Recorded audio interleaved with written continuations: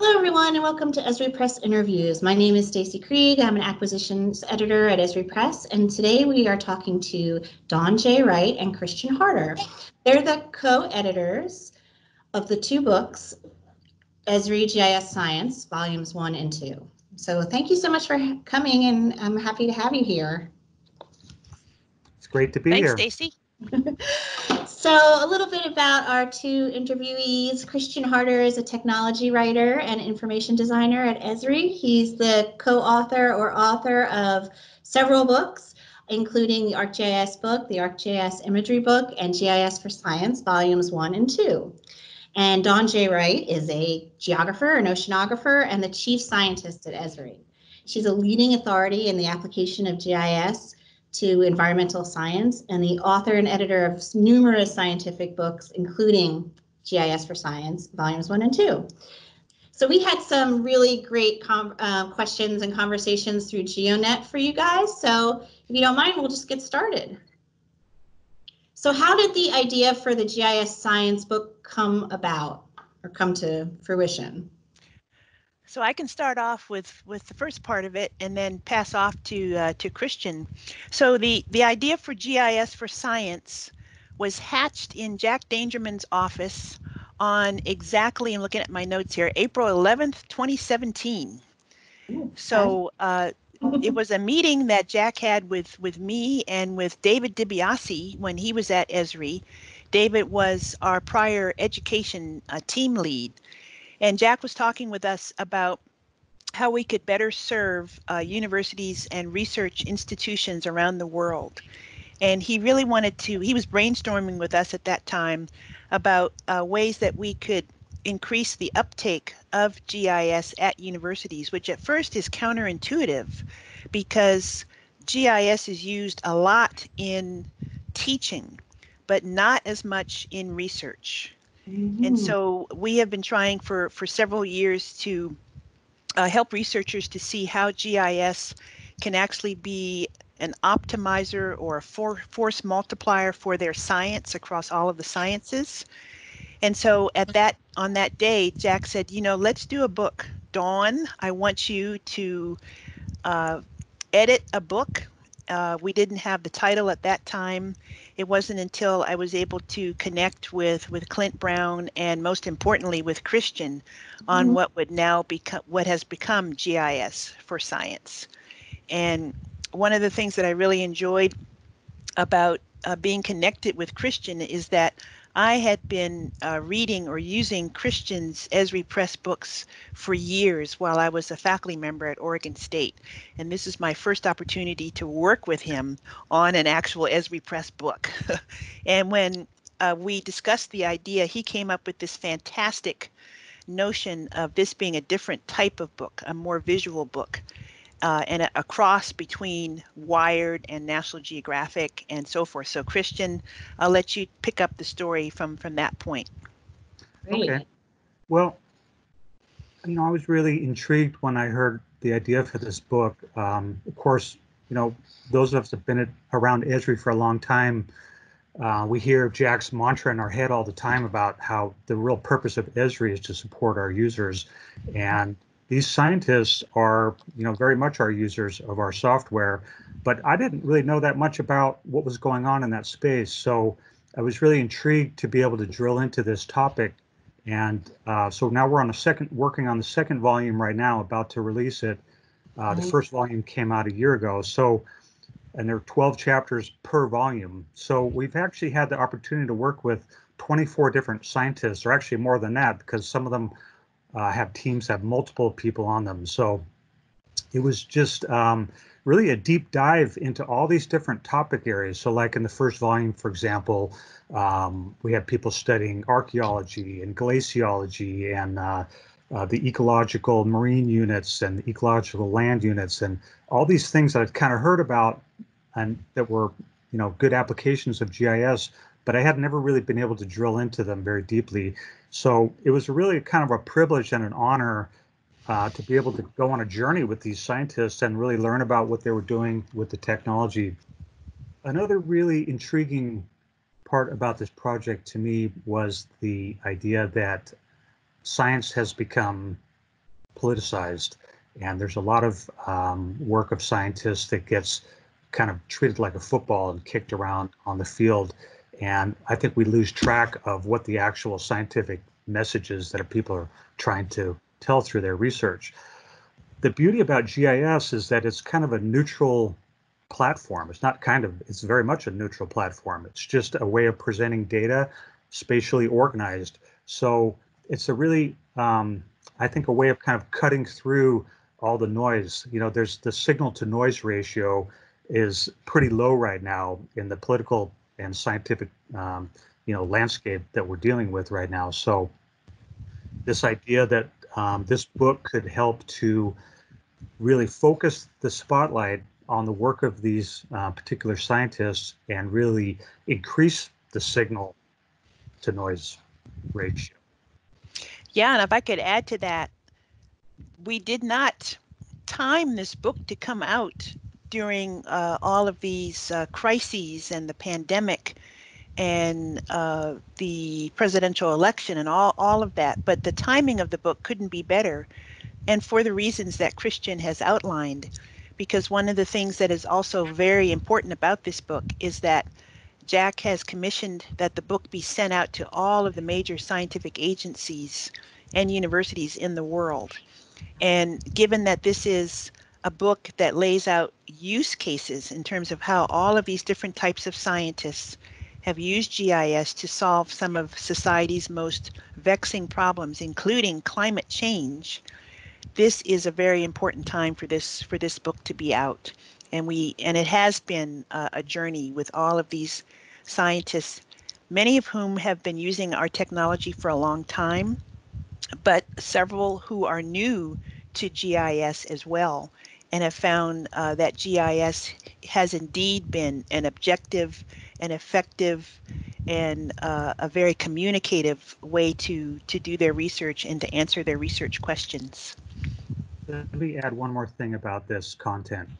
Sure. These stories are stories about the scientific research first and foremost, and the spatial or GIS components are often, I don't want to call them secondary, but they're not the primary focus. But what's neat about these stories as you read them is that you see the thread of spatial thinking and GIS kind of weaving through all these stories. And that's the common denominator in all of this. And we may get into this later, but uh, one of the things that has been so exciting about GIS for Science Volumes 1 and 2 is that there's gisforscience.com, which is a very thorough digital supplement where everybody can dive into story maps, workflows, Python notebooks, journal articles, uh, dashboards. And so for the COVID 19 chapter that's in volume two, there are over 45 items uh, in uh, associated with that uh, section where uh, the readers can see the dashboards, uh, the several podcasts that Este Geraghty, our chief medical officer, has done, uh, mm-hmm. podcasts that Lauren Gardner of Johns Hopkins University has done, uh, all the, the tools, workflows, everything that Esri and our partners have produced pretty much for a science audience up to this point. You know, having worked on print books for many years at Esri, uh, one of our challenges has always been in how do you talk about GIS in print when it's such a dynamic digital medium? Yeah. And over the years, you know, we've done a lot with companion websites and things, but I think we're really coming into fruition on this kind of content. So the companion website at gisforscience.com is really leverages ArcGIS, ArcGIS Online. Um, for example, all of the content and the items that Dawn's referring to are actually live items in ArcGIS Online. So in a way, we're kind of leading people who may not be too familiar with ArcGIS Online and, and the ArcGIS Online ecosystem, kind of luring them in and getting them to click on items and open items. So everything from story maps to web scenes to web maps and other kinds of content that live on ArcGIS Online can be found on that site. Yeah, I know we have some really great resources on that site, so I would recommend that anyone um, who's interested in the book also look at the website or just look at the website because I know it's um, it's full of really good information. So we have um, a little bit more personal question from uh, one of our readers on GeoNet is how did you get into GIS? What drew you into GIS? So I think either both of you can answer. I'd be interested. Well, I'll, I'll start. Uh, I have a deep confession to make as Esri's chief scientist that I did not even know what the acronym GIS stood for until I became a doctoral student at UC Santa Barbara. Uh, but I'm old. You know, I was uh, a student in the early 1990s, which was a very critical time for GIS and for GIS for scientists. I think during that, the early part of that decade, a lot of scientists in ecology, uh, oceanography, uh, geology, and geophysics started to catch up a little bit to the traditional conservation biology and hydrology communities that have been using GIS throughout the 80s. But I was given a data set that was collected with a deep sea vehicle, the same vehicle that was used to discover and photograph the wreck of the Titanic. They collected this data in ArcInfo sort of as a lark uh, just to test out this GIS that they were that they had been given at the Woods Hole Oceanographic Institution. And when they came back from sea, uh, they gave the data to me as a, a, graduate student to decode and to make maps from because I was a geography student at UCSB. And so I was forced at that time to learn about GIS, which I was going to the next quarter. I was supposed to take Intro to GIS the next quarter, but I was given this data the summer before. So it was a fantastic introduction to GIS at that time. And uh, it was so exciting because of what the, the maps were representing. And from that's how it started for me. Okay, so for me, I was working as a research manager at a newspaper at the Press Enterprise newspaper in Riverside, California. And back at this time, this was in the early 90s, uh, the Press Enterprise was actually a very fine little um, award-winning family-owned newspaper, and they invested a lot of resources in editing and reporting and trying to be on the kind of cutting edge of, of um, reporting digitally, so to speak. So at the time, uh, about 1992, the uh, 90 census data had just been released, and um, I was given the job of kind of making sense of this data and preparing some articles and graphics to support um, and just to basically tell the story about how um, the census data affected uh, the, the residents of Riverside County. So I remember very clearly the day the box showed up, you know, from the Census Bureau, and it was like about filled with about 10 binders, and each binder had about 100 CD-ROM discs in it. And so I started popping those into the computer and looking at them and realized it was all tabular data. I mean, just, you know, hundreds and thousands of, of tables of data. And after about, you know, 30 minutes of looking at all these tables, it kind of dawned on me. It's like, wow, this stuff seems to be geographically referenced. You know, it was it was re referring to zip codes and block groups and things like that.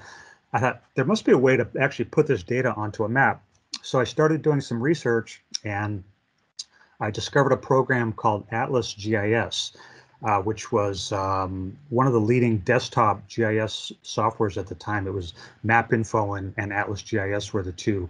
Anyway, the newspaper bought Atlas GIS and I immediately started learning it and getting into it and just kind of went down the rabbit hole with that technology. I just loved it. It was such a kind of right brain, left brain combination of things. You know, you were working graphically with data, but it was still statistics and numbers, and it was just fascinating. So over the course of about six months, uh, we ended up using this software to produce literally dozens of articles for the newspaper about the 1990 uh, census. And um, frankly, I never looked back. I mean, I kind of to the to the expense of other responsibilities that I had at the paper, I became really an Atlas GIS power user at that point. Now, interesting little kind of footnote to history here is that um, some maybe, I don't know, eight or 10 years later, Esri actually purchased uh, the company that made Atlas GIS. Called Strategic Mapping, and uh, we took over the product and uh, eventually converted all their users to ArcView users. But um, at the time, it was a quite a interesting and powerful uh, desktop program. So that's how I did it. Great, thank you. So we have a question specifically for Dawn. Um, how did growing up in Hawaii affect your career passion? Well, growing up in Hawaii had everything to do with with my career passion. Uh, I spent most of my childhood uh, swimming and bodyboarding, uh, Mhm. running along the beach, climbing trees, uh, dreaming about being Jacques Cousteau because I had been watching that on TV. When I was eight, I decided that I was going to be uh, an ocean, a deep sea photographer because I saw what Jacques Cousteau was doing Ah, he i think is more of a uh, deep sea photographer than a scientist but when i learned more about what he was photographing and as i learned more about the science uh, that he was trying to illuminate through the stories that he was telling i learned that there was this field called oceanography and then i learned about uh, other people like sylvia earle uh, who were doing uh, deep sea science. They were actually studying some aspect of the ocean. Most people think about marine biology, so they think about all of the animals. But growing up on on a volcanic island with a dormant volcano, I became very interested in geology and in rocks, and ultimately in the seafloor. So uh, Hawaii was a perfect uh, incubator for that, and I have a, a, lot of friends who are at the University of Hawaii who are doing uh, this this type of science, including with with GIS. Wow, it sounds amazing. and Christian, you were at the inception of Esri Press. So can you share something a little bit about the early days of Esri Press? Be very interested to know. So uh, yeah, so this is a little bit of ancient history um, so I was actually hired into Esri as part of the sales team, uh, believe it or not. I was working at the Press Enterprise newspaper, and I found out that this company in Redlands was doing something similar with GIS to what Atlas GIS was all about.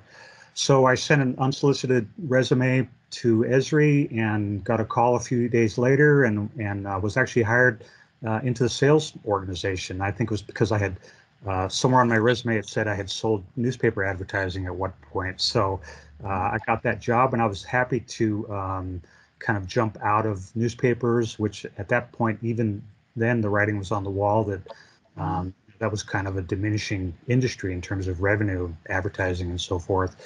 But um, just so happened that Esri was in Redlands, not far from Riverside, and uh, so I came over to Esri and um, worked in the sales organization for a couple of years and actually answered the 1-800 number from the first day that it was plugged in. And, um, my job was to basically pick up the phone and answer questions. And if I didn't know the answer to a question, I would have to, you know, take their number and go out and talk to somebody in the company and get the answer. And I did that for two years and, and handled literally, you know, thousands of calls. And we grew a small team around that. And it was uh, really fun and gratifying. And I learned a lot about GIS and the technology and what our customers were doing with it, most importantly. But I kind of had a hankering to get back into writing and um, and publishing. So I wrote up a, a book proposal for a book about applications of, of GIS in the business sector. And uh, I called it ArcView Means Business. And I was actually shopping it around some outside publishers uh, at the time. Next thing I know, I had a response from one of these publishers that they were actually interested in it. So I thought, oh, oh, I better actually let Jack know what's going on here. So I sent a proposal up to Jack's office, and uh, within a couple of days, I was in his office, and uh, his only comment to me was, you know, he was all stern and looking at the proposal, and I thought I was in big trouble. And he looks up and he says, "Why didn't you send this to me first? You know, because he was really interested in um, in kind of pushing these ideas of GIS into different market sectors. So, long story short, um, I ended up working on that book for about six months, and turns out one of my colleagues, I found out, a guy named Andy Mitchell, was also working on a book called Zeroing In at the time, and we were we were both working on our books. They were both case study books, and we were working independently. We didn't know where we were each working on that. But when they both got finished uh, in the summer of 97, uh, Esri pu published both those books at the user conference in 97. And those two books became the first books that carried the Esri Press imprint. Wow. Wow, very interesting. I remember those books as a attendee of the user conference. Well, we did not know very much about book publishing at the time, and I think we ended up uh, publishing like 25,000 copies of each, which is just an insane run, right? But it actually worked to our benefit because we had so many books that when we were selling a fair number of books into the book trade, but we were also uh, able to use books in the sales and marketing uh, situations. So they became these little things that people would take out on sales calls and leave behind. And um, that was kind of a big, you know, light bulb going off for Esri in general. Even before 97, Esri was very much involved in book publishing. So we had uh, put out a book called Understanding GIS that Clint Brown was the lead author on. I worked on with Mike Livingston and Andy Mitchell and some other people. Uh, Nick Frunzi, who's our current director of education, did a book uh, called the AML Workbook, which was our first kind of big brick, you know, guidebook to the technology and how to use it. Sure. Uh, and right about the time I got there, the Bill Miller's team did a book called uh, Getting to Know ArcView. So Esri had already been dabbling in publishing, and these books were actually quite successful, even though you know we didn't have any formal uh, distribution. They were just kind of sold through word of mouth. We did big press runs. We had plenty in the warehouse to sell and to give away, and in particular with the um, all three of those big books, they became really favorites in the in the college and university markets uh, because there really wasn't anything else out there. So through course adoptions, you know, we sold a lot of books, but more importantly, we gained a lot of mind share. You know, people learned Esri technology in their college classrooms, and the idea was hopefully that once they graduated from school and they went out and got jobs out in the workforce, um, they would, um, you know, recommend, you know, ArcInfo or ArcView software as uh, the tool to use in their jobs. And I think it's kind of worked over the years. Oh yeah, I can attest. To, so Christian's been at Esri much longer than I have. I didn't join. Esri until 2011, but during this time period that he's talking about, I was teaching GIS at Oregon State, and those books were my the lab manuals for my GIS courses. They were invaluable. Well, I know our mission at Esri Press is, you know, to be of use to our users first and foremost. So it's really interesting to hear all those names that have been there for a while. And what do you feel is the single most important technology used to discover the ocean today? And what kinds of technology are needed in the future? I'd like to say that GIS is the most important technology, but uh, GIS is fantastic for dealing with the data and you must have uh, the vehicles that are on top of the ocean and in the ocean in order to gather that type of data. GIS cannot do that for you at the outset. So the types of technologies that we are hearing about now, such as uh, the bathymetry or the water depth, the photography and the uh, side scan sonar or the backscatter, these types of uh, vehicles, and they're all types of vehicles now, and many of them are on drones. Uh, many of them are on submersibles, and having we're, we're giving this interview now with uh, a group having just come back from the deepest spot on our entire planet, uh, yes. Challenger Deep, and yes. we uh, we're doing a story map actually with Kathy Sullivan who is now the most vertical woman in the universe. She was the first American woman to walk in space, and now she's the first woman of any nationality to reach Challenger Deep. Amazing. The submersible that they used collected the data that we will be incorporating into our Esri Ocean base map, and they uh, will be using Esri technology to map out that data. So I would say that the sensors is the sensor technology is the most important for discovering the ocean and understanding it. Wow, that's great. Yeah, I read about Kathy Sullivan and she's that's just amazing that she's gone so far high and way down below. So that's really cool. And I hate to make a joke, but she is so down to earth. yeah, she is Yeah. just a really She's- nice, nice person. yes. she's also featured in Women in GIS Volume One. If anybody wants to read more yes. her, Yes. Uh, we have to update it though because now she's done this great thing with Challenger Deep. So we'll Yeah. continue the story. She also wrote the foreword to volume one Yes. of GIS Science. Oh, well, great. Okay, so yes, that's amazing. So yeah, Well, she's uh, really cool. Yes. So this next question is for both of you. Um, what do you see um, in the future of GIS in science and GIS as a whole? That's a big question. Yeah, I- I'll, I'll, I'll chime in quickly and have um, uh, Christian. I'm eager to hear what Christian thinks about this from the standpoint of a designer and a writer uh, as well. But from the from the standpoint of um, of science, it, it- it's making me think about our theme for for uh, for this current virtual UC, yes. where uh, GIS is everywhere. It's ubiquitous. It's in the cloud. Uh, it's uh, connected to all of these different sensors, the Internet of Things, uh, and so I think that's where the future for for science is going. Where it, even if you're out in space, if you're in the ocean, if you're looking at the uh, mutations of COVID-19, because that's something that's happening right now. We know that the virus has mutated, so uh, the genetic code that's something that can be mapped in a way with GIS. So I, I think uh, this idea of it being everywhere, available everywhere, is going to be a continuing trend for the future. Yeah, it's an interesting question. Um, like Dawn said, I've been doing this for a while now. Actually, about 25 years I've been in GIS. And when I first started out, you know, you spent the majority of your time creating data and making a database. And it was only at the very end of the process that you got to do anything kind of analytical with it. Nowadays, the GIS is basically ready to go. You know, you log into ArcGIS Online, grab some data from the Living Atlas, and you're within, you know, moments after logging in, you are looking at interesting data and visualizing things and panning and zooming and exploring.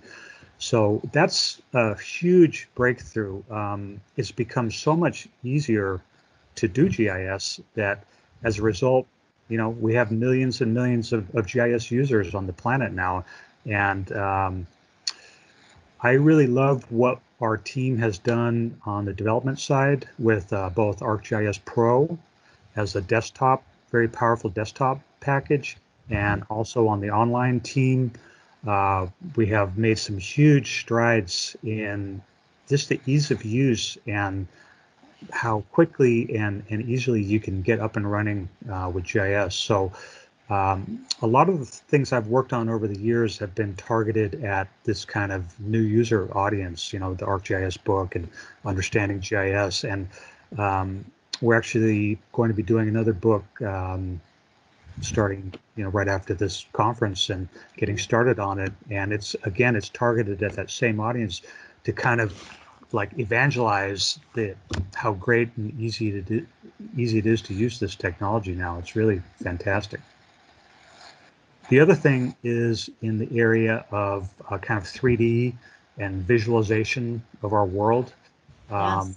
I think, you know, people, especially young people now who are grown up with computers, they just feel kind of naturally at home in that kind of 3D environment. And uh, ArcGIS is right there with 3D content, and we have, you know, indoor GIS coming online now.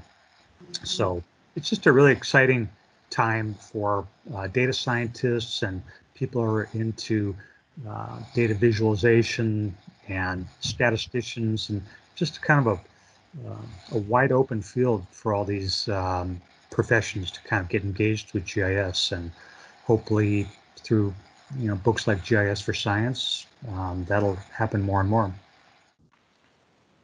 And our last question is if you wanted readers to take away one thing from reading this book, GIS for Science, what would that be? That's a hard one too, because it's got so much great information in it.